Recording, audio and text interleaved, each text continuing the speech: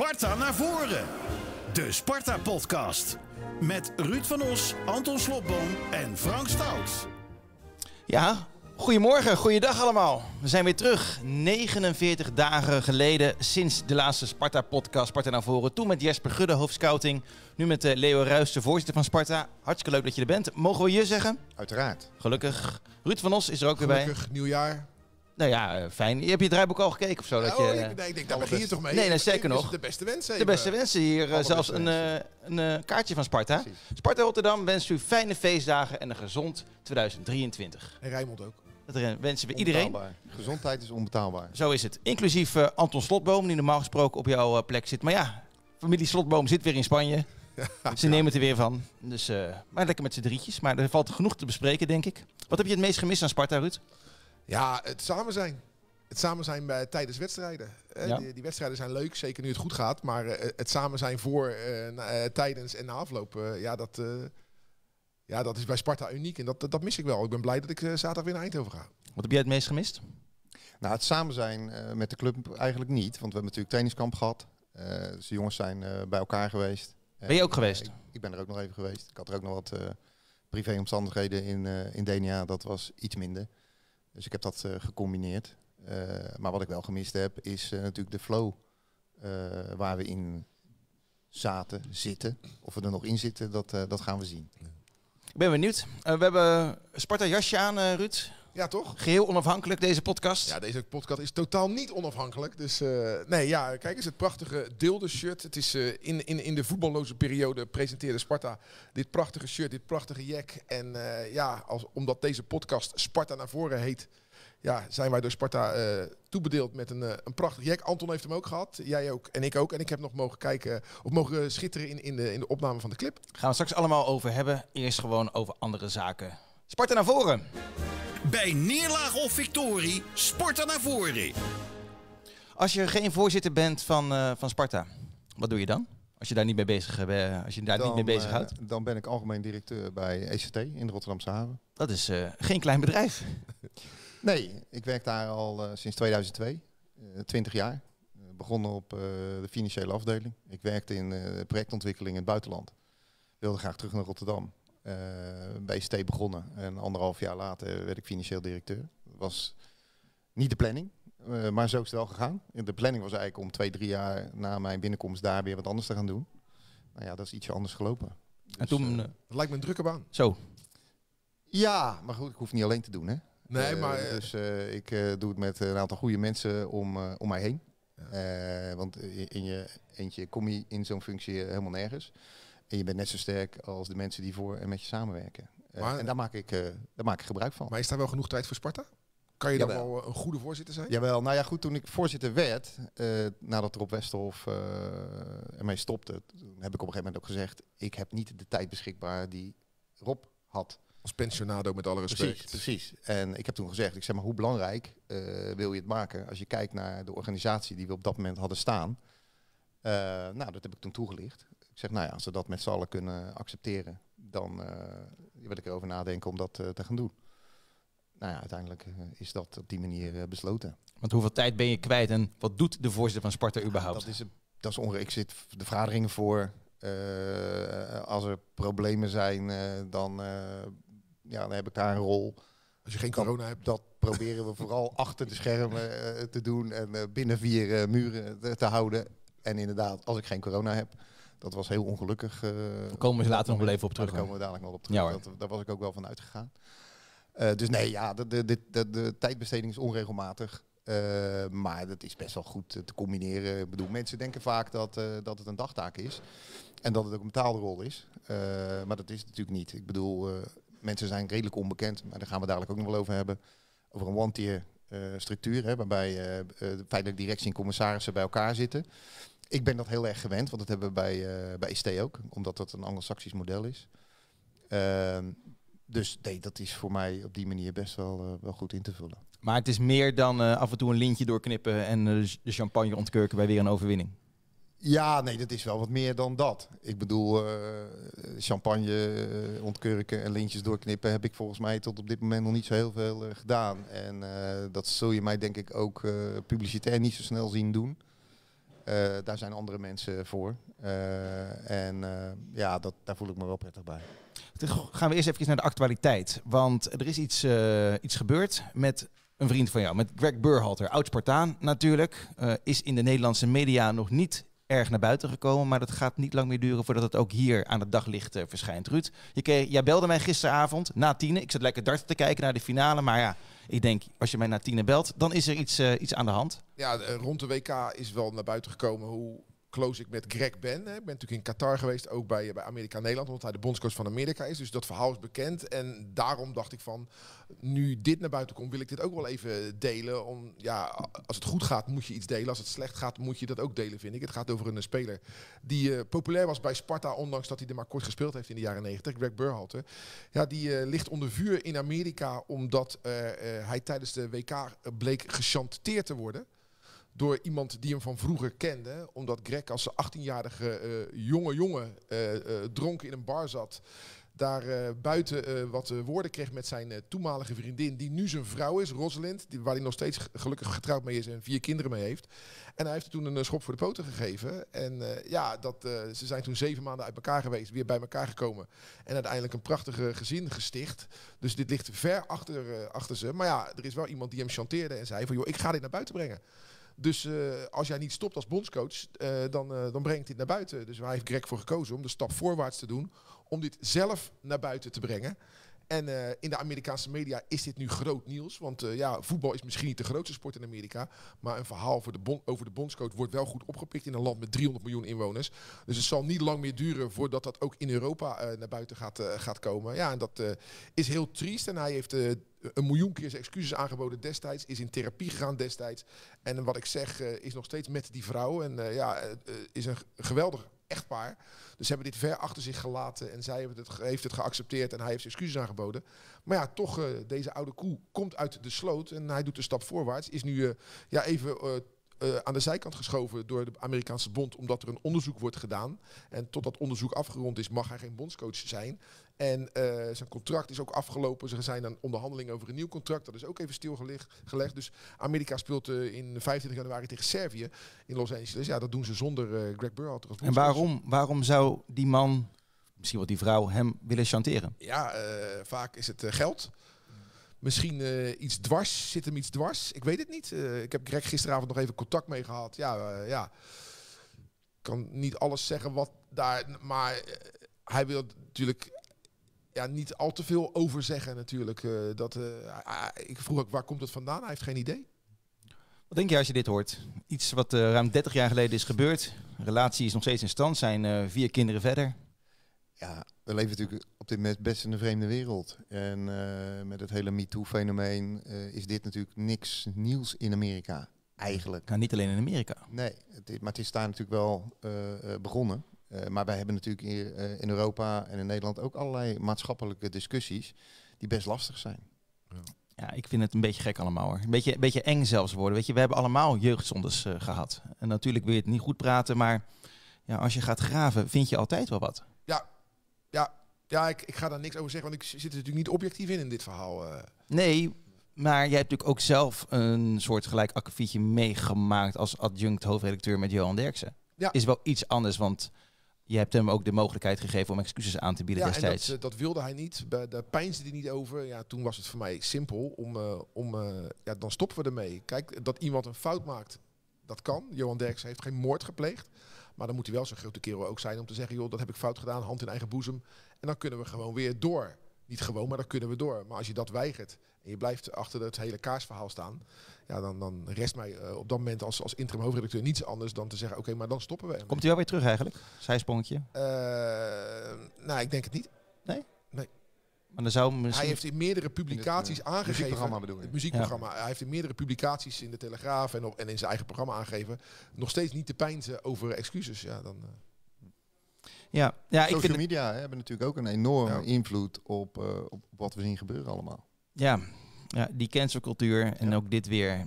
Ja, ja ik ben, eh, ik ben ja, een beetje bang. Een beetje, Nou ja, eh, als we, we hebben net gelachen voordat we begonnen met de opname. Blijkt dat eh, een film uit 1968, Romeo en Julia. Daar speelden twee eh, acteurs in die toen 15 en 16 waren. Die zijn, er zit een naaktscène in. Ja, die klagen nu de, de filmmaatschappij aan 55 jaar later. Omdat ze toen als 15, 16-jarige in een naaktscène zijn gefilmd. Ja, zeg het maar. Ja, zullen we doorgaan?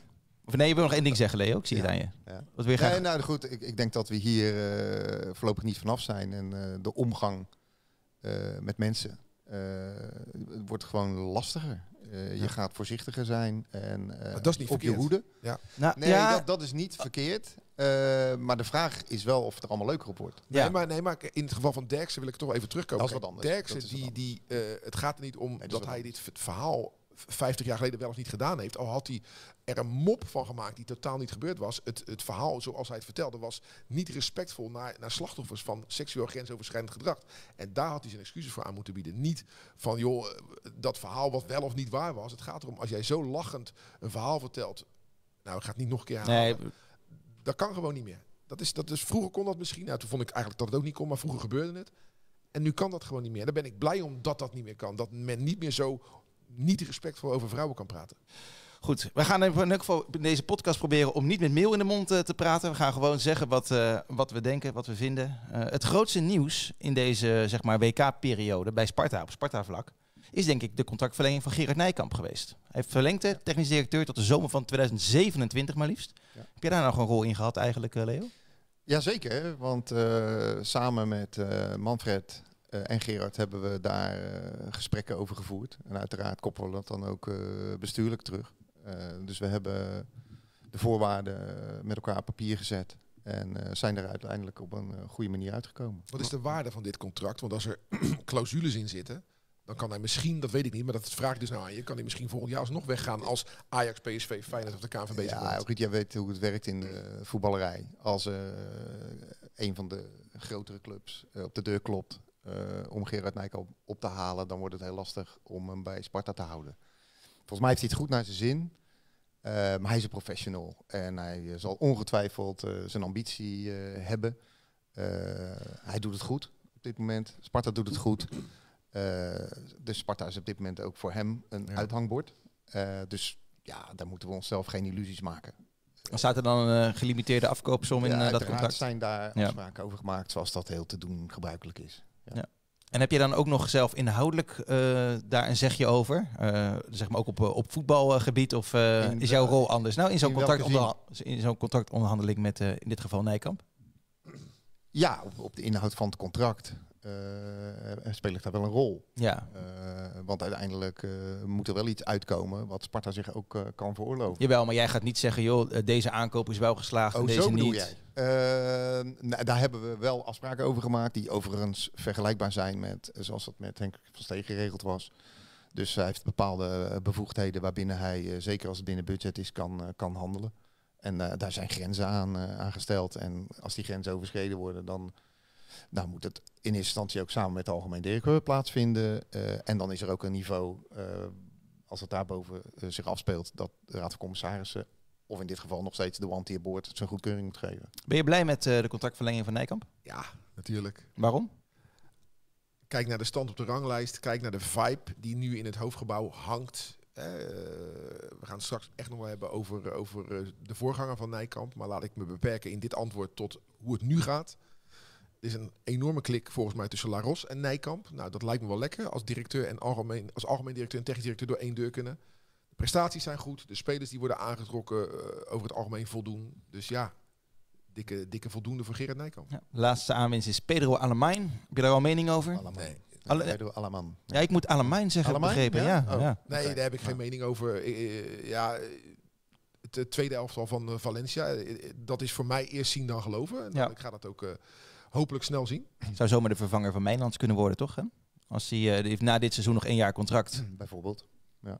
Maar goed, op zich, eh, als je spelers kunt halen van het tweede niveau, eh, Valencia, Spanje.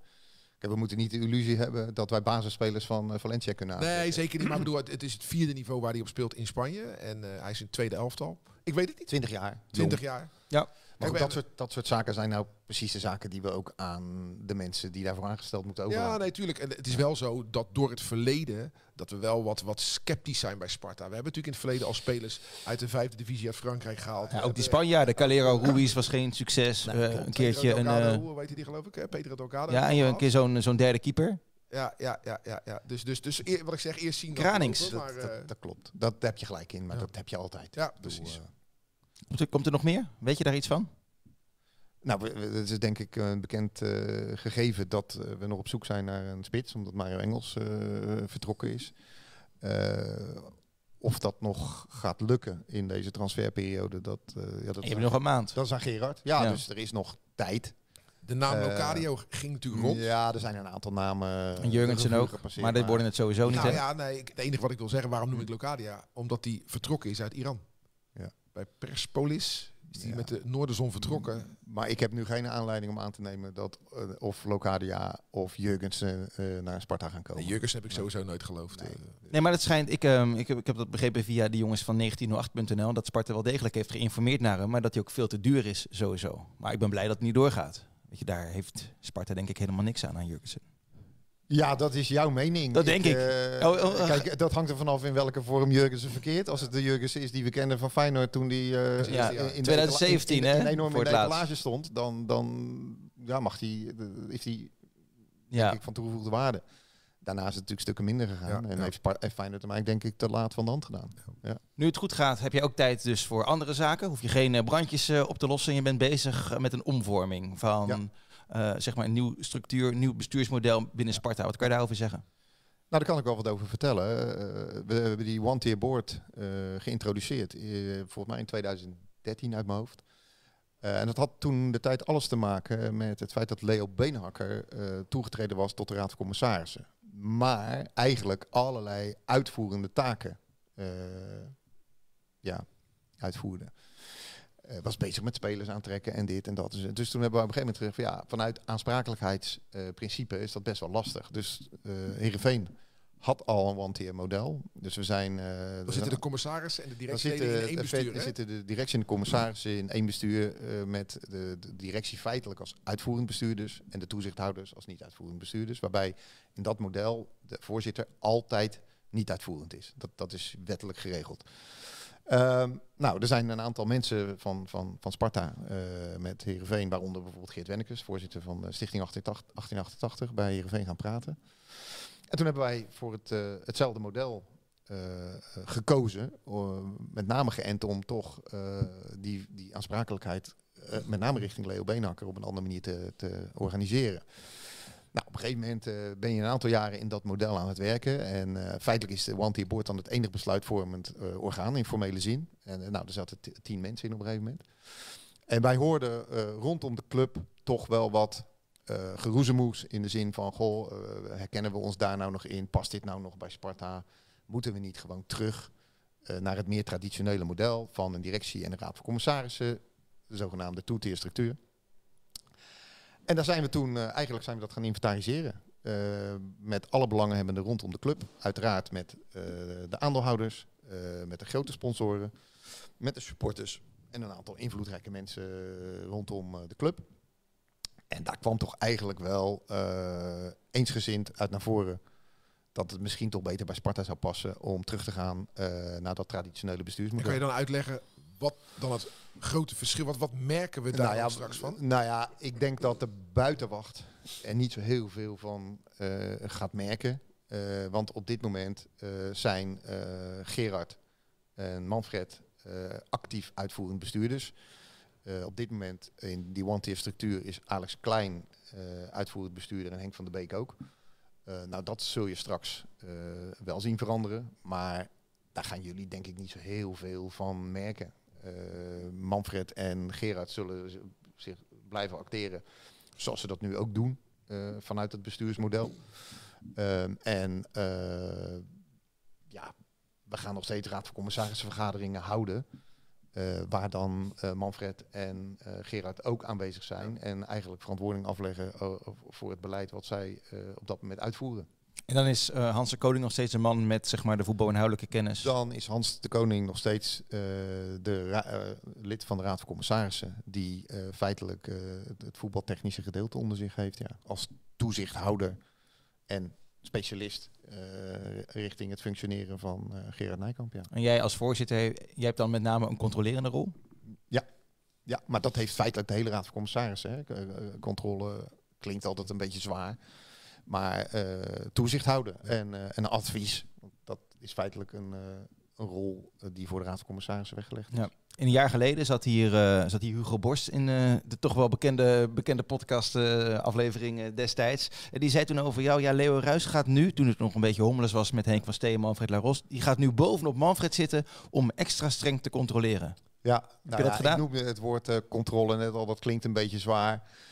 Nee, ik hoef niet bovenop Manfred uh, te zitten om uh, mijn taken uit te voeren zoals ik dat doe. Dus dat doe ik nu. Uh, dat zal ik straks in, de, in dat andere model op dezelfde wijze doen.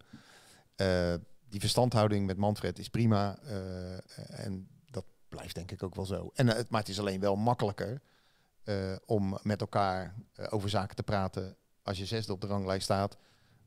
of wanneer je achttiende op de ranglijst staat en je er eigenlijk geen vertrouwen meer in hebt dat je je handhaaft. Maar heb je toen. Is natuurlijk een gegeven. Ja, zeker. Maar heb je toen destijds net even wat strakker aan die touwtjes getrokken? Of? Destijds en waar. Nou ja, toen in, de, uh, zeg maar in die situatie uh, met die oneenigheid met La Ros en Van Stee? Of kon het niet omdat je toen corona had? Want dat was natuurlijk nou ja, wel een ongelukkig moment. Het was wel lastig dat ik uh, opgesloten zat in een appartement met, met corona. Maar ik heb in die periode contact gehad met alle bestuursleden. Ik heb contact gehad met Manfred. Ik heb contact gehad met Henk. alleen ja, ik kon niet fysiek uh, aanwezig zijn in een bepaalde vergadering waar het uh, destijds uh, een klein beetje misgegaan is. Nee, dat is wel echt een heel ongelukkig moment. Juist op het moment dat je wat zichtbaarder had moeten zijn, misschien wel, was je er niet. Ja. Nee, ik, ik kon op dat moment daar fysiek niet, niet bij zijn. en het is gelopen zoals het is gelopen. ik weet ook niet of ik het uiteindelijk het tij op dat moment had, had kunnen keren. En als je dan niet over dat moment hebt, maar eerder, want ik als iemand die de club goed volgt, zag dit wel aankomen. Als je Van Steek kende, als je, ja. uh, als je uh, Laros toen, dat was een botsing die je echt wel aan zag komen. Ja, nou ja, goed. Had je niet eerder in moeten grijpen? Uh, nou kijk, je, je, had, je kunt het ook benaderen vanuit de optiek. Zeker als je teruggaat naar waar we vandaan komen. Henk heeft op een gegeven moment een bepaalde rol gehad. Heeft een elftal gebouwd. heeft Henk Vrezen binnengehaald. Henk Vrezen kwam binnen als een trainer van een eredivisieclub. En het ging tegen mis. Uh, ik was een dag na die wedstrijd op het kasteel. Henk kwam binnen, knop omgezet. Ik blijf.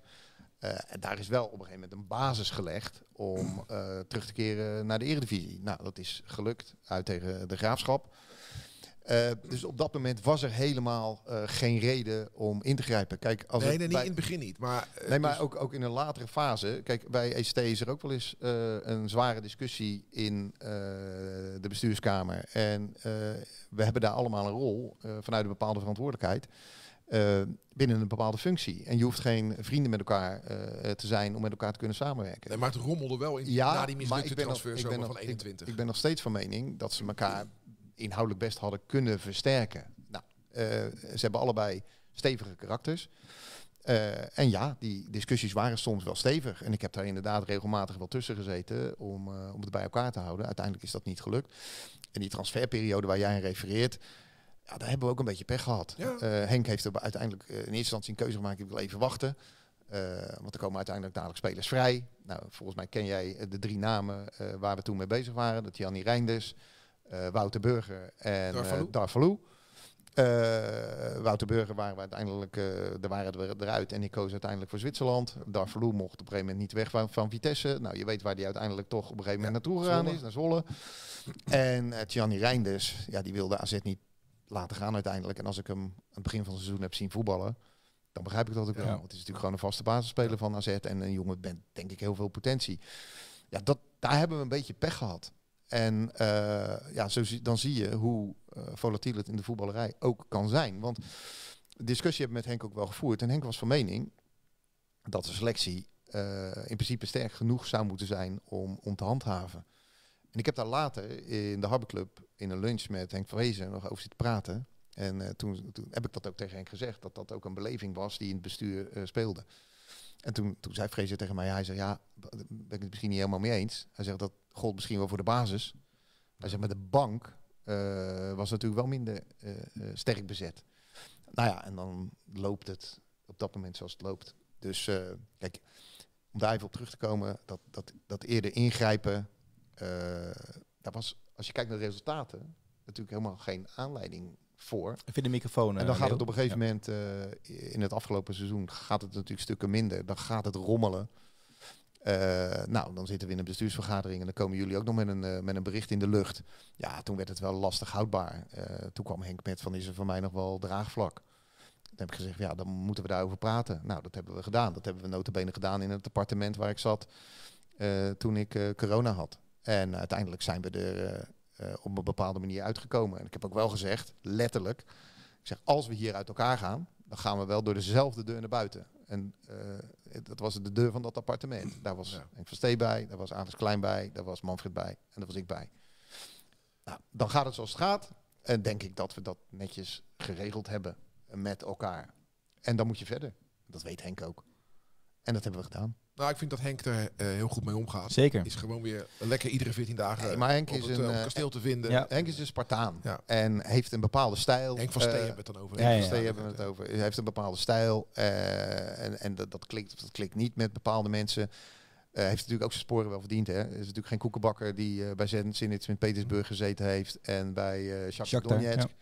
Dus eh, eh, eh, ontzettend bevlogen eh, individu. Eh, met een bepaald karakter. Eh, nou ja, eh, en ik denk inderdaad dat hij er op een prima manier mee, mee omgaat. En je ziet hem bij Sparta. we hebben contact met elkaar. We lopen elkaar uiteraard de deur niet plat. Maar daar zit volgens mij, maar dat zul je misschien nog wel een keer aan hem kunnen vragen, geen wrok. Zeker niet naar mij toe. Nou, ik denk dat hij het niet zal. Ik denk dat hij wel vergeeft, maar niet vergeet. En dat is logisch, denk ik wel. Nee, maar dat hoeft ook niet. Hè? Ik bedoel, eh, eh, Sparta is wel zijn club. Ja. Eh, daar, kun je, daar kun je echt niet omheen. Eh, nou, maar volgens mij heeft hij het wel een plekje gegeven. Maar als het weer zo zou zijn ontstaan, zou je dus weer hetzelfde doen. Je zou niet nu met de kennis van nu denken, achteraf, ik had toch misschien beter even ze eerder bij elkaar aan tafel kunnen zetten. Eh, nee, maar we hebben regelmatig met elkaar aan tafel gezeten. Want we hebben wel verschillende discussies met elkaar gevoerd. Eh, maar op het moment dat de resultaten zich ontwikkelden zoals ze dat deden, dan hielden we de boel wel bij elkaar. Alleen, je zei net zelf, op het moment dat het eh, wat, wat kritischer gaat Ja. worden, loopt de spanning op. Eh, ja, en dan gaat het dekseltje soms wel eens van het keteltje. Nou, dat is hier ook gebeurd. Zwa. Wij zetten Zwa. er ook een, stre- een streep onder. Het gaat goed met Sparta. Eh, we zijn blij dat Henk eh, regelmatig eh, dat op, is- op dat het kasteel is. Dat is de mazzel die de club natuurlijk wel heeft gehad. Hè. Je neemt een controversiële beslissing in december. Je neemt een controversiële beslissing in, in april. Met het wegsturen van Rankovic en daardoor het vertrek van Vrezen. Maar daarna pakt het allemaal goed uit. En nu loopt iedereen met een glimlach rond. Ja. Nou ja, Niet helemaal mazzel, hè? Heeft ook al een beetje natuurlijk met kennis van de mensen zelf te maken. Nou, er zit ook wel een beetje geluk Ja, in. tuurlijk, een de- beetje. De, vrije trap van Nou, Krooi tegen AZ heeft wel een heleboel wonderen. Ja. eh, Ik wil daar nog wel wat over zeggen, want jij noemt eh eh, Vrezen, eh, Rankovic.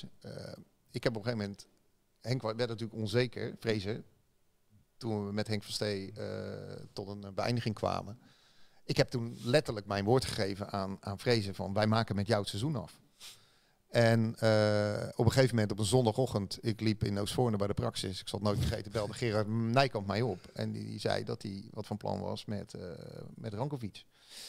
En dan kun je zeggen van ja, eh, nou, het is niet aan mij om op dat moment op de stoel van de technisch directeur te gaan zitten. Ik bedoel, want dan hebben we die technisch directeur niet nodig. En Sparta zal nooit meer zonder een technisch directeur functioneren. Dat heeft eh, de afgelopen jaren wel bewezen. En toen heb ik gezegd van, nou ja, als jij die keuze wil... Ja, zei hij, maar ja, het kan dan wel zo zijn dat... Nou, je weet wat ik bedoel. Ik zei, ja, maar ik heb Vrezen mijn woord gegeven, maak hem jou het seizoen af. Als Henk daar andere keuzes in maakt, ja, dan is dat Henks eigen verantwoordelijkheid. En ik snap ook wel dat Gerard niet op zijn kont wilde blijven zitten om eh, toch bepaalde keuzes daarin te maken. En dan pakt het inderdaad Ja. goed uit. Ehm, en wordt het daarna was denk ik de enige die vertrouwen had in een goede afloop, Maurice Stijn. Ja. Ehm, ja, een huzarenstukje Ja, wat hij daarmee eh, geflikt heeft. En door de... En we hebben ook in die periode natuurlijk ook nog wel, want dat wordt misschien wel een beetje vergeten, alhoewel jullie dat bewust zijn. Manfred heeft in die periode natuurlijk ook behoorlijk onder druk gestaan. Maar vergis je niet, hè, eh, Manfred heeft eh, rondom de club, en zeker de mensen die het toe doen, best een, eh, een behoorlijk draagvlak. Een goed draagvlak en een groot draagvlak.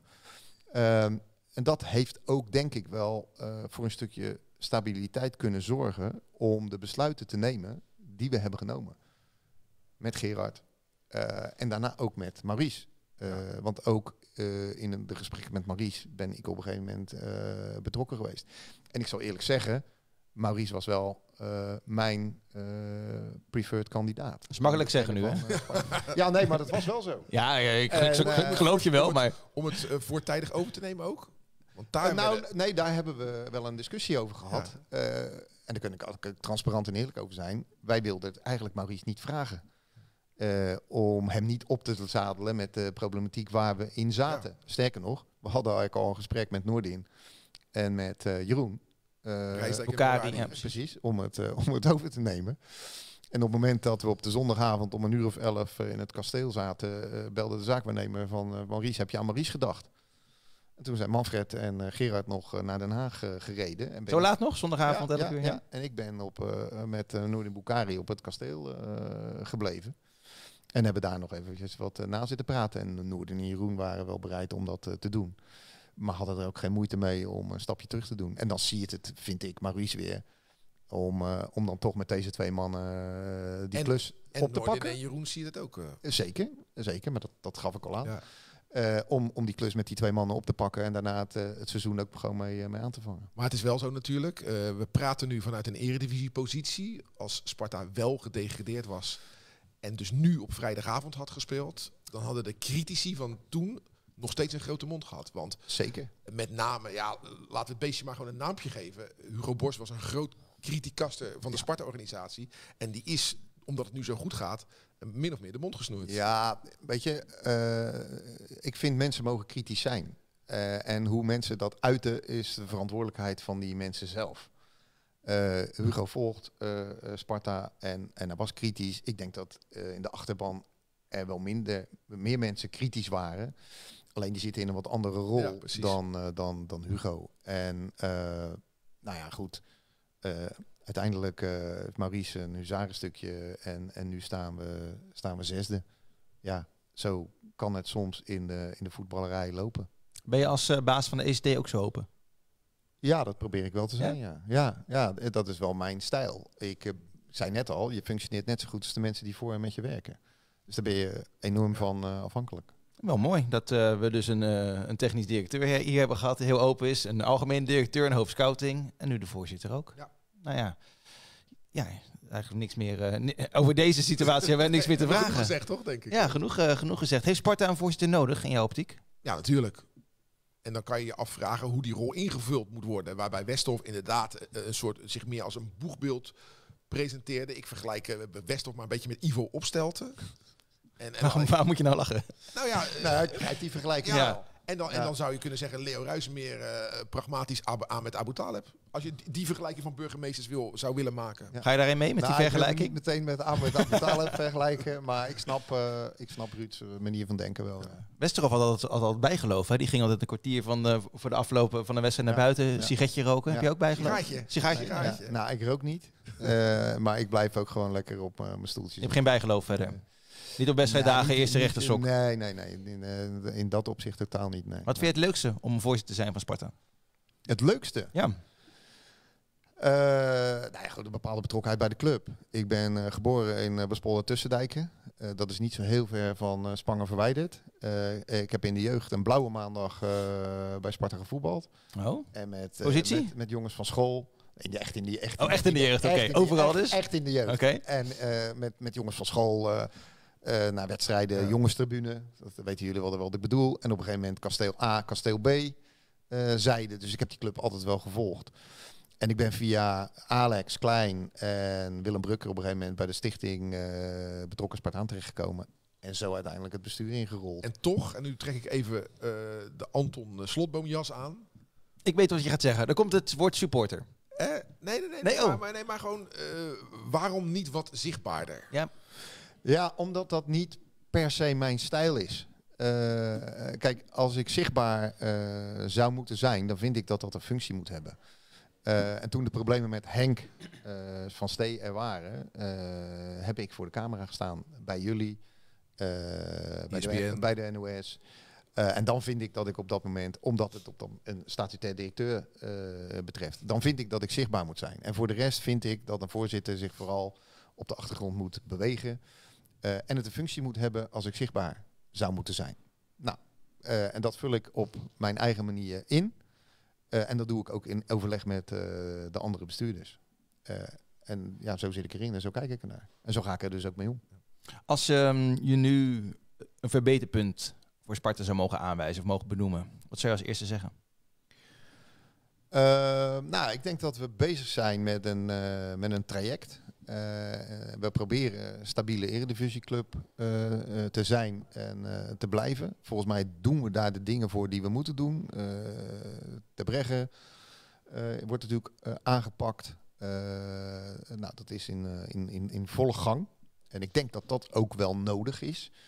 Eh, stadion, eh, publieksfaciliteiten zijn wat aan het opkalevateren. We hebben de kleedkamer van de selectie eh, een nieuwe look eh, en, eh, gegeven en, en behoorlijk eh, geprofessionaliseerd. Dus als ik het in één woord zou moeten samenvatten, dan zou ik zeggen verder professionaliseren binnen de eh, middelen en mogelijkheden die wij hebben. Wat zou jij als eerste aanpakken? Nou, een, ik, mijn moeder woont in Spangen. Dus ik kom heel vaak in de buurt van het Sparta-stadion. Dus, dus, dus ik, ik zie wat er gebeurt. Ik zie dus nu dat er ook verbouwd wordt. En een doorn in mijn oog was altijd die verschrikkelijk lelijke ingangen. En als ik nu kijk waar ze nu mee bezig zijn, ja, het, het krijgt grandeur. Het, wordt, het zijn mooie zwarte hekken, grote zwarte hekken. Die gaan dan open op wedstrijddagen. En daarna ga je door een lage tourniquet. Veel publieksvriendelijker, veel meer uitnodigender, veel chiquer. En ja, ik ben blij dat dat is aangepakt. En ik begrijp ook, ik zit zelf niet op de eh, Dennis Neville tribune, maar voor de mensen die daar wel zitten, mijn moeder bijvoorbeeld.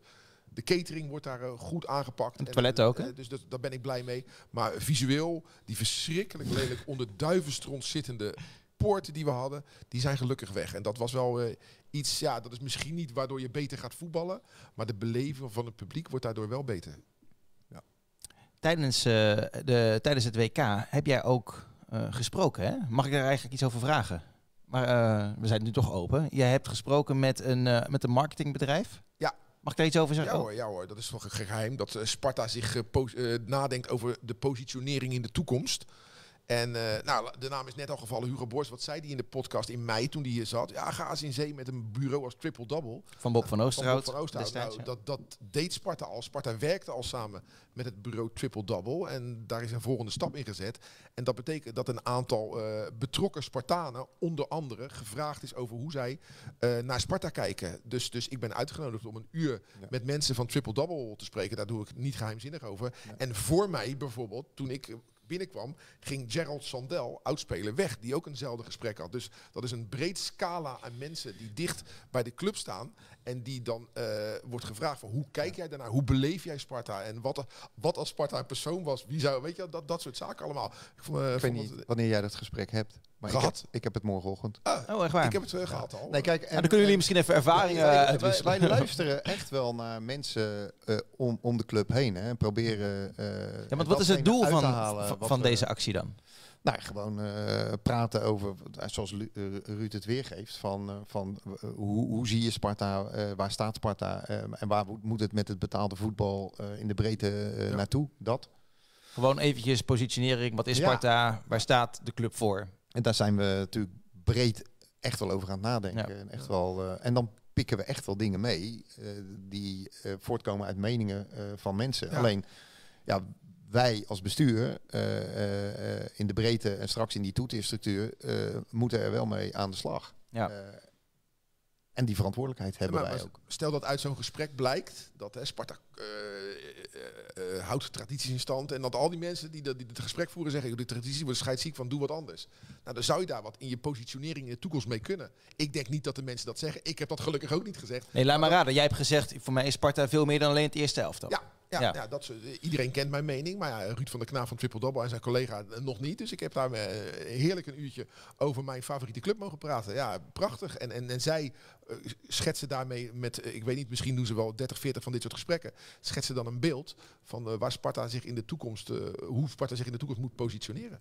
Als je het hebt over, eh, over traditieclub, tradities die belangrijk zijn, dan hebben supporters het ook heel vaak over, ik probeer een heel slecht brugje te maken hoor, over een logo. Hè. Een logo bij een uitshirt, dat moet dan ook in het, dit geval van Sparta in het rood-wit eh, zijn. Maar nu zitten wij hier met een trainingsjasje aan, hebben een eh, zwart, zwart logo, het ligt daar ook het shirt op. Het is eh, ja, een, een eerbetoon aan Jules Dilder. Hè. En dit, dit tenue van Robij wordt echt met gejuich ontvangen. Ja, nou kijk, eh, we hebben tradities. Ja. Maar wij moeten ook wel eh, commercieel Mee met de durven tijd. denken en durven zijn. Eh, we hebben bepaalde afspraken over waar het eh, bekende rood-witte thuisshirt aan moet voldoen. Eh, dat hoort bij het bewaken van de normen, waarden, cultuur en dat soort zaken. Dat is ook een verantwoordelijkheid van de stichting eh, 1888, feitelijk de grote aandeelhouder van, van de club. En als het gaat om uitshirts, dan is daar meer vrijheid. Maar is het wel gewoon zo netjes om dat met eh, de toezichthouder op die normen en waarden gewoon even af te stemmen? Nou, dat gaat wel eens mis. is geen opzet eh, in het spel. eh, maar dat gebeurt een beetje in het enthousiasme. En als ik dit shirt en die jasjes die jullie aan hebben, als ik dat als voorbeeld neem, dat is, daar is ontzettend veel vraag naar en ontzettend veel enthousiasme voor. Ah, het is al uitverkocht, waarom is er niet meer van gemaakt? e- Exact. Nou ja, goed, ik weet niet, misschien gebeurt dat nog wel. Of misschien moet het, eh, Volgens mij het niet. Uniek, moet het uniek blijven, dat kan Ja. ook nog. Er komt een tweede lading van het Kijk, shirt. heb je hem al, Frank? En- Ja, maar- maar niet dan- van het jasje. Maar, maar dan blijft het volgens mij Ja. bij. Dus de- Ja. en, en het jasje, dat was één lading. En die komen niet. Dus wij hebben nu een, echt een collectors item. eh, Ik ga hem niet op marktplaats zetten hoor. Nee, nee, nee. Ik, ik heb wel eens bedacht, als, als het echt zo gewild is, en eh, dan moet er gewoon een hoog bedrag op tafel komen, dan sta ik hem af. En dan is dat hoge bedrag voor de betrokken Spartaan. Weet je, dat, dat dan weer wel. Eh, maar, maar ja, weet je, dit maakt dat Nederland, dat heeft al een goed gevoel bij Sparta, heel Nederland. We worden door dit soort acties nog unieker. Dat Ja. wij binnenkort, ik weet niet of het zaterdag in Eindhoven al is, maar uitwedstrijden in dit shirt gaan spelen. Een aantal, niet allemaal. Ja, dat is toch fantastisch. Nou ja, we zijn natuurlijk, we proberen best wel uniek te zijn en te blijven. Ook, eh, Mm. ook al hebben we een, een rijke traditie. Eh, maar daar kun je niet van, eh, van voetballen. van hè? Ik bedoel, eh, het gaat vooral eh, om, eh, om, eh, om de toekomst. Eh, maar wij waren ook eh, de eerste eh, professionele voetbalclub in Nederland met eh shirtreclame. hè? Ja. Jullie weten vast nog wel Efteling. welke naam dat was. Ja, ja. Nee, maar het, het enige minpuntje is, is dat er wel iets wits op de eh, shirt komt. En dat is de omleiding van het rugnummer. Anders Ja. kan de scheidsrechter natuurlijk Nee, niet zien nee, wie die nee, eh, een gele of, of rode kaart eh, geeft. Maar dat, daar ontkom je niet aan. Maar ja, weet je, Sparta lekker eigenwijs gewoon met 1 tot en met 11 spelen. En wij hebben geen spelers met rugnummer 23, 97 en eh 73,5. Dat, eh, dat doen wij lekker niet. Gewoon 1 Ja, ik vind het soms wel jammer hoor. Nee, jawel, ik zou het wel mooi vinden als je dan gewoon een shirt kan kopen met eh, nummer 3 Adil Awassar of zo. Of Bart Vriends of met Nee, eh Sparta Sven is, meer, Sparta is meer dan die ene speler. Het is eh, altijd 1 tot en met 11. Hè? Ja, Ja, maar dat gaat ook niet gebeuren in de toekomst eh, als het aan Nee, jou dat- ligt. dat- Dat moet 1 tot Nee, met daar- 11 daar blijven. willen we wel eh, eh, aan vasthouden. Daar hebben we in Ja. het- verleden, verre verleden, wel uitzonderingen op gemaakt. Want Sammy Morgan, een spits Ja, uit de ja. eind jaren 70, die speelt met rug nummer 31. Ja, we hebben hè? 34, 35, 36 met advocaat van de Lem. En, Precies. eh, nou, Dus het is wel eens gebeurd. Ja. Dus, dus, eh, maar gewoon nu, heel strak, 1 tot en met 11. Daar zijn we gewoon uniek in. Waarom zouden we meegaan in de waan? En sommige tradities laten we ook wel los. Hè. Het rood-witte mannen-diner is natuurlijk het rood-witte mannen- en vrouwendiner eh, geworden. En dat vonden mensen in het Sommige. begin best wel lastig. Ja. Maar daar hebben Eh, we... Ru- Ru- Ruud is daar blij mee hoor, weet ik. Als vrouwenliefhebber ook uiteraard. Maar Ja, maar, we hebben het Oerspartanen diner, dat is Precies. alleen mannen van boven de 50. Daar ga ik ook naartoe, vind ik leuk. Maar ik ben blij dat, Dat het is rood-wit mannen en vrouwen... Die... Eigenlijk de vervanger van eh, het rood-witte mannen-diner geworden. En ik denk dat dat ook prima is. Ja. Want ook daarin ga je dan mee met je, met je tijd. Ja, en de Sparta-mars mag nooit eh, veranderen. Hè? Die moet dat De dat klinken. Sparta-mars blijft, Ja, oké. Nee, dat is wel eens een dingetje Nee, geweest we hier. bestaan eh, op 1 april 135 jaar. Ja. Op, dat is op zaterdag. Tegen wie wordt er gespeeld dan? Ja, dat is jammer. Want op niet 2 zo. april Ja. spelen we dan tegen Feyenoord thuis. Oh ja, dat was het, had ja. natuurlijk een mooie geweest om op 1 april te spelen op zaterdag. Maar dat mag niet. eh, vanwege veiligheidsoverwegingen. Dus je hebt 1 april 135 jaar. 2 april heb je Sparta Feyenoord. En 3 april heb je het rood-wit mannen- en vrouwen-diner. En dat wordt dit jaar in een hangar op Rotterdam de Heek Airport gehouden. Ja, fantastisch. Oh. Echt fantastisch. Mag jij het weer aan elkaar praten? Gelukkig wel. Oké. En 500 mensen, mannen en vrouwen, voetjes van de vloer. Allemaal Spartanen. Ja. Ik verheug me er nu al op. Dat is mooi. Hey, ik hoorde net al die namen zeggen, die rugnummers. En jij, zit, eh, jij lepelt het allemaal moeiteloos op. Ben je ook supporter? Of is het, een hele, is het de domste vraag van deze eh, de afgelopen drie kwartier? Ik denk het wel. Eh, nee, ja, natuurlijk ben ik ook, ook supporter. Maar ik denk dat ik dat best wel uit kan schakelen in de rol die ik, eh, die ik vertegenwoordig. Ja, maar heb jij vroeger Nou, een seizoenkaart? paardengordijnen in. Ja, ja, hoe kan je dat uitschakelen? Oh nee, maar dat is heel goed denk ik als ja, je dat kan. Ik denk, nou, ik denk dat ik dat wel zakelijk kan blijven benaderen. Eh, Maar heb jij een seizoenkaart gehad vroeger? ja, ik heb wel een seizoenkaart gehad, ja. Waar zat dat, is- je? Dat is wat ik net al aangaf. AB. Ja, ja. begonnen op de, op de jongenstribune en eh, kasteel AB. Wat vind jij leuker? Eh, waar je nu zit? Op een lekker eh, warm plus stoeltje? Of, tijden, zijn, eh, tijden zijn veranderd. Eh, ik, ik kan me de wedstrijden van bijvoorbeeld tegen Ajax nog heel goed herinneren met de 4-3's en de 5-3's en Ja, ja. dat soort wedstrijden. Eh, die schiettribune was natuurlijk een kolossaal ding wat, wat daar stond. Eh, ik denk dat het stadion op dit moment wel knusser eh, Oh. is. Eh, en ook met zijn tijd meegaan. Ja, ook al is het alweer 20 Ja. jaar oud, hè? We hebben het wel eens gezegd in deze podcast. Laten we eerlijk zijn, het doet pijn. Maar we hadden natuurlijk gewoon een lelijk stadion. Met die schiettribune. Dat was eh, natuurlijk. zag ja, en, en die jongenstribune was natuurlijk eh, een, een, een betonnen, Ja. betonnen bak. Die schiettribune die stond, die stond 100 meter van het veld af. Meer was het niet. Ja, dus, Ja. dus we zijn er duizend procent op vooruit gegaan. Ja, maar als je zo'n grote supporter eh, bent hè, en ook nog eens baas van de ECT, waarom heeft eh, de ECT wel een loge in de Nou, Kuip en daar- geen stoelen op het daar kasteel? raak jij een, een, een heel belangrijk punt. Want dat zijn nou precies de zaken die ik een beetje gescheiden wil houden. Ja? Ja. Ik zit eh, bij Sparta als voorzitter, als natuurlijk persoon, als Leo. En niet als directeur van ECT. En dat wil ik ook graag zo houden. Hmm, wat vind je daarvan? Ja, eh, ik, ik, ik kan hetzelfde als hij. Ik heb jarenlang eh, verslag gedaan voor Sparta. En dat, dat uitschakelen van dat gevoel, en nu even aan het werk en niet even juichen, dat, dat, dat begrijp ik goed. En eh, ja, Leo is niet de baas van de ECT en kan maar zo zeggen van joh, ik gooi al mijn geld eh, richting het kasteel. Ja, Dus, allemaal eh, geld, eh, daar twee zit- stoeltjes daar is, eh, weet ik veel. Ja, maar er zitten partijen boven ook. En eh, Leo heeft het voor de uitzending uitgelegd. In Hongkong, in Londen en zo. Dus, dus het is niet een, een, een, een- een beslissing van, van iemand alleen. Ja, eh, ik, ik heb daar geen problemen mee. Nou, hoor je het? Als, eh, als eh, chef Als Ruud van Rotten geen probleem heeft, vind ik het prima. En dan hebben we altijd van die rubriekjes, hè, Spartaan van de Week. Maar ja, er is niet, ja, ik kan hem best even De instarten. Spartaan Maar- van de week. Ja, dat, dat is een beetje... eh, hè? Hebben we niet echt, denk ik. Nee. Nou. Jij, we hebben twee maanden niet gevoetbald. Nee, nou, heel, helemaal dus, prima. Wat zit er in die gleuf? Oh, die hebben die is niet. Deze bedoel ik. Ik ben ook even weg De geweest. glazen bol. Gaan we voorspellen.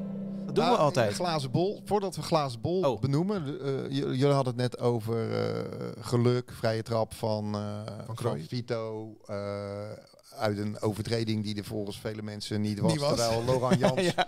Laurent Jans wel zo'n snee is- in zijn been had. Hè. Ehm, en tuurlijk hebben we vanaf dat moment geluk gehad. Maar kijk wel ook eventjes naar de goals die we gemaakt hebben. Ja, Groningen de met Verschuren. van Namli op Ja. Verschuren. Groningen uit. Heracles uit. Heracles uit. Eh Heracles was natuurlijk beter de eerste helft. Eh, bal op de, pa, op de lat. Okoye, bal eh, linker benedenhoek. En eh, in de 45e minuut die goal. Ja. En daarna was Heracles helemaal de kluts kwijt. Zwolle thuis. Heel snel 1-0. Daar zat het geluk. Zwolle was beter. Maar de tweede goal van, van Vito was een, een prachtige aanval. En daarna was het over. Dus ja, we hebben geluk gehad. Maar we hebben het ook echt in die vier wedstrijden een onwijs knappe wijze afgedwongen. Nou. ja, en Dus eh, Ja? glazen bol. PSV eh, Sparta 0-3 wou je zeggen. De doelstelling is... eh, Is het de stoel van Anton, hè? Dan, dan weet je, dan kan je niet wegkomen met een 2-0 Nee, nee, maar ik nederlaag. ga ook wel, eh, ik ga ook wel een, eh, nou ja, PSV, weet je, eh, daar, eh, PSV uit hoeven wij de punten niet te pakken. De laatste eh, paar jaar verliezen we daar steeds eh, op het nippertje. hè. 1-0, 2-1. Eh, het blijft heel lang 0-0. Vorig, vorig jaar viel ik in de box van VDL bijna van mijn stoel. Eh, toen we een, een goal maakten die afgekeurd werd trouwens, maar dat tezijde. En toen ging het net mis. Was dat Gravenberg? Of was dat het jaar daarvoor? Dat was het jaar daarvoor. Die scoorde ook toen. eh, ja. Eh, Maar goed, het, het zijn kleine nederlagen de laatste jaren. Wij hoeven daar de punten niet te pakken. Nee. Nou, doelstelling die we met elkaar eh, afgesproken hebben eh, is eh, bovenkant rechter rijtje. Eh, alles wat we beter doen is meegenomen. Nou, hele lange aanloop en er Ja. geen, geen uitslag genoemd. Ja. Nee, oh, je wil een uitslag? Ja, PSV eh, Sparta. Eh, ja, ik blijf realistisch, hè. Eh, dus ik ga dan niet mijn supporterhart eh, laten spreken. Dus dan zeg ik eh 2-1. Voor PSV. PSV. Nou, dan zeg kan altijd een keertje punten halen. Ik zeg, ik zeg 1-1, want ze zijn Gakpo kwijt daar. eh, ze hebben nog geen vervanger. Dus eh, ik, eh, ja, ik denk dat... Zetten we er een flesje wijn op? Is goed. Het juiste moment Ik schrijf Om, even eh, op. Schrijf even op. Het juiste moment. Eh, we gaan 1-1 gelijk spelen. En we gaan eh, dinsdag gaan we gewoon 3-1 winnen voor de beker. Oh, pakken we die gelijk mee? Ja, die- die- die- daarvoor is geen podcast meer. Dus eh 3-1 winnen we en we gaan door naar de volgende ronde. We schakelen PSV ook nog eens uit in het bekertoernooi. Wat denk jij in de beker? 1-1, Ah, Pingels? strafschoppen. Ah ja. Ah, dat zou ik wel mooier vinden eigenlijk. Wordt het wel laat? Dan zijn we dan, laat eh, thuis. Olij in de rol van, eh, hoe heet die, keeper van Argentinië, Martinez. Ja. Eh, Ja, dat, dat, als ik dat dan zie, hè, eh, dan verbaast het me toch als ik dan zo'n Loris en toch ook wel een beetje Noppert zie, die dan die hoeken ingaan en niet wachten. ja, ja, maar ja, dat, ja. Ja, die Martinez en die keeper van Marokko gingen echt in de meeste gevallen voor de bal. Ja. Soms begrijp ik dat Ja. niet. Maar goed, ik heb er geen verstand van. Althans, ik heb er Nee. net zoveel verstand Nou, van ik, ik als hoorde die wel 16 goede miljoen andere. Je moet de, de, als je de beslissende strafschop neemt, moet je altijd door het midden schieten. Waarom? De keeper gaat in de, bij de beslissende altijd naar een hoek om niet het verwijt te krijgen dat hij niks heeft gedaan. Ja, dus maar, die gaat altijd naar links, altijd naar rechts, maar maar gaat het is, midden eh, schieten. volgens mij is het heel simpel. Als een strafschop goed genomen is, Ja. gaat hij er altijd in. Eh, en als die wat minder genomen is en je wacht als keeper en je gaat voor de bal, heb je altijd een kans. We gaan maar. Ik weet niet of mijn, eh, ik Jan weet niet of Boeren- Olij een killer Jan, is. eh. Jan Boerenfluitjes eh, benadering. Ik heb Olij in de voorbereiding gezien. Ging die even de fout bij, eh, bij Twente uit. Maar toen zei iedereen eh, van nee, dit gaat hem in de competitie nooit gebeuren. Dan geeft hij wel die, die bal een ros naar voren. Nu speelde hij hem volgens mij op Schoonderwald. Nee, eh, op, eh, hoe heet die jongen van Volendam? Die we- Eerthuizen. Eerthuizen. Eh, en eh, en dan ging, ging, daar, ging daar even fout. Eh, maar ik denk eh, PSV Sparta 3-0. Sorry. Ik wil graag weer Nee, bovenaan joh, maar, komen. eh, Frank, dat, ja, ik, vind, ik snap jouw eh insteek Gelukkig. in dat verband. Nee, want ik sta niet meer bovenaan. Ik, ik heb heel, de, heel het seizoen bovenaan gestaan. oh, totdat, hebben... eh, Maar bij- hou het bij. we houden het ja, bij. Ja, ja. en Ruud had inderdaad bij Sparta Twente 1-1. ja, Dus, die- dus die kreeg weer twee puntjes erbij. Dus Ruud heeft nu 15 punten, ik 14 en Anton 6. Oh. Ehm, ja. Ja, ja, maar Anton laat moet ik ieder... dat interpreteren? Is Anton dan Ja, eh, een beetje te, negatief? Of, eh, nee, te Nee, positief. te positief. te positief. Eh, dus 3-0, Luc de Jong maakt de eerste. Ik moet ook even de eerste, de eerste doelpuntenmaker eh zeggen. Daar oh. krijg je ook een puntje voor. Wij komen wel voor hoor, in Eindhoven. Oké, dus wie scoort er dan? Vito van Krooi. Oh, maar die heeft lang niet alles gespeeld in de voorbereiding in de basis. Jij? wie er een goal gaat maken? Ja, de eerste. Wie de Gewoon de eerste Wie de 1-0 of de 0-1 Dus maakt. Dus het kan Luc de Jong zijn. Cody Gakpo niet. Joe, Joe Gierman. Kijk, helemaal goed. En dan denk ik in de, in de beker, dat wordt, eh, die moet ik nog even noemen, dat wordt eh, 2-2. en dan, Die telt niet het- mee hè, voor de glazen bol, toch? jawel, bij deze doen we hem wel. Oké. Ja, dat is toch leuk. En dan wordt het eh 2-3. Oh, dan moeten we ook nog de eerste doelpunten maken, Ja. Lauritsen zeg ik. eh, Laurits, eh, zeg ik, eh Madueke. Oh nee, die komt net terug van een blessure, die zal ja, misschien die wel heeft niet goed spelen. gespeeld tegen AC. Ja, ja, zeker. Maar dan zeg ik weer de Jong. Doe ik gewoon twee keer de Jong. En wie eh, maakt hem eh, in de beker? Van Rooij. Van Krooi. Zo, dan zijn we er, De jongens. administratie even bijgewerkt. Wil je ook nog bij- eh, vrije trap? Ja, dat, krijg je helemaal geen extra punten voor. Hoor. Eh, even kijken, ja, sportief. Hebben we die wedstrijden natuurlijk allemaal eh, ja, gezien. Konden er niet echt vaak bij zijn. Het was wel, ik was zelf bij, bij Sparta tegen Vitesse. Het was wel duidelijk hoe erg je publiek mist daar. Het was echt, niet, eh, het was echt hartstikke gezellig. Ik was daar samen met Leen van Steensel en met Anton Slotboom. We hebben lekker naar die wedstrijd gekeken. Eh, we hebben een livestream gemaakt bij, via, via het YouTube-kanaal van Rijnmond.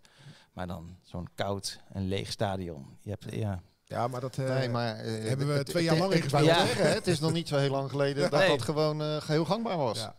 Ja. En dan mag, ben jij nog degene die naar de wedstrijd mag. ja En dat Ja. had ik in die coronaperiode ook. Niet klagen, want je mag tenminste. Terwijl heel veel mensen smachten thuis zitten. zeker. God voor ons natuurlijk ook. Ja, ja, Ja. ja. Je hebt ook toen al die wedstrijden natuurlijk geweest. Ja. En dan is het heel bijzonder om te horen dat je die spelers in dat veld, die hoor je gewoon Zo. letterlijk. Ja, En dan valt bijvoorbeeld op hoeveel Adil Ja. aan het coachen is. Ja, maar wat mij ook wel opviel, dat ik soms het idee had dat er 22 tegelijk aan het schreeuwen waren. Ja, denk, ja wie, wie luistert er nou naar Nee, wie? ja, dat, maar dat, dat, dat herken je. En dan nog aan- twee trainers? Ja, nee, dat herken, eh, ken je ook natuurlijk van Ja. de amateurvelden wel, eh, Ja. wel heel erg goed. Ja. nou, en Jonathan Guzman weer helemaal fit. Allemaal mooi. Ja, hij is er uit voorzorg afgegaan hè, Ja, tegen Westerlo. tegen Westerlo. Belgen. Ja. ja. Was je er ook bij? Nee, nee, dat was, Gelukkig niet, want het was eh, kloten weer ook. nee, dat was ik niet bij. Ik vond het wel leuk dat je er was. Nou, dankjewel. Ik hoorde Ik vooraf, om eh, te zijn. ik hoorde vooraf, joh, die Leo, laat hem niet te veel aan het woord, want dan wordt het soms een beetje saai. Heb ik Nou, ja, maar ik vond het alles meevallen, eerlijk gezegd. Wie zei dat? Mevrouw Ruis. ja, ja. Nee, eh, ik vond Nou, het... ik ben wel benieuwd wie dat gezegd heeft. Nou, dat ga ik jou maar niet zeggen, uit. Ik bedoel, ik ben wie ik ben en ik blijf ook zoals ik ben. Ja. Nee, dit ging allemaal, eh, allemaal voor het vaarrad en crescendo. Dan start ik het eind, de eindtune in. En dan eh, zijn Op we de volgende Eindhoven. weer. eh, op naar Eindhoven. En naar is Eindhoven hier. Mijn zoon is mascotte in Eindhoven. Oh ja? Met zijn hele voetbalelftal. Heel TOGB, eh JO11 is, is mascotte. Maar hij is toch ook wel een beetje voor PSV? Nee, niet meer. Oh. Sinds Heracles, Sparta en de kunstgras supporters kijken laatst. Oh, de oudste is dat voor. PSV. Nee, het, is iedereen, heel, het hele gezin is om. Dat was zo'n mooie dag. Iedereen is nu diehard Sparta supporter. Oké. Nou, eh, Dus, ik, eh, eh, ik wens hem veel, veel plezier. Mag hij lekker ook, mag die Foxy ook van, dicht, van dichtbij zien? Ja. Foxy en Sparta, Piet. Dankjewel voor je komst. Graag gedaan. Succes met Dankjewel. Sparta. En wij zeggen tot volgende week. Is Anton weer op de plek van, van Leo. En dan gaan we er weer een mooie uitzending van maken. Ik weet niet of we dan weer dit aandoen, maar Anton in elk geval wel. Want die heeft hem nog niet aangehad eh, op tv. Dankjewel. Oké. Oké, Graag gedaan. we luisteren nog eventjes naar het eind van deze Sparta-mars. Dankjewel. Als Spartaan zijn wij geboren, als Spartanen sterven wij. In de geest van Bok de Sparta naar voren!